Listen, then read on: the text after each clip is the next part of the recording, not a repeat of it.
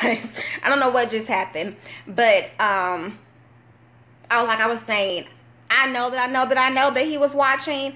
Um, he didn't say anything, but I did an evaluation. They told me I should go and you know seek counsel and get help, but I still went on. So to sum up this video, when dealing with depression, some progress, excuse me, is better than no progress. Seek help, journal, write, sing, do whatever you need to to get out. I am a texter. I am a writer.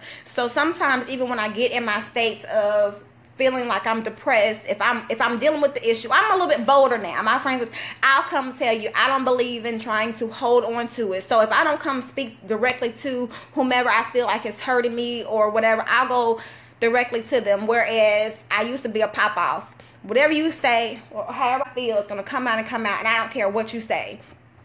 So I'll leave this with you all.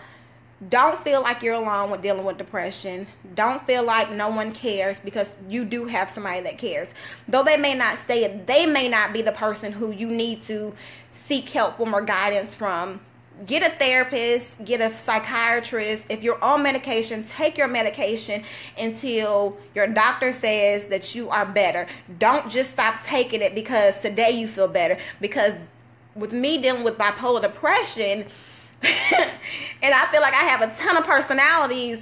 One of my personalities would say, "Hey, sir, you're fine," and knowing that it that that's not necessarily the case. Like I don't really have split personalities, you guys, but it's cold. So when dealing with depression, just know that some progress is better than no progress. Okay? And as always, do understand that your imperfections makes you who you are, which is perfect within God's sight. So therefore, you are imperfectly perfect. Until tomorrow, talk to you later. Bye-bye.